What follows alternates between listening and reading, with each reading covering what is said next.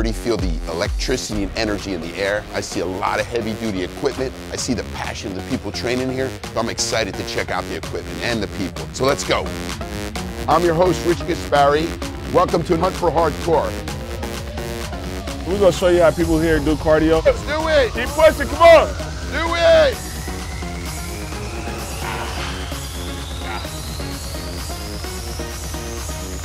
Go on next round. Easy. Moment of truth. We're ready to step in the gym. So let's check it out.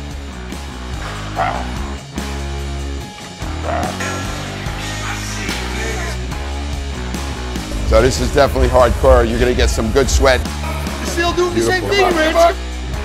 Like butter, like butter. Good.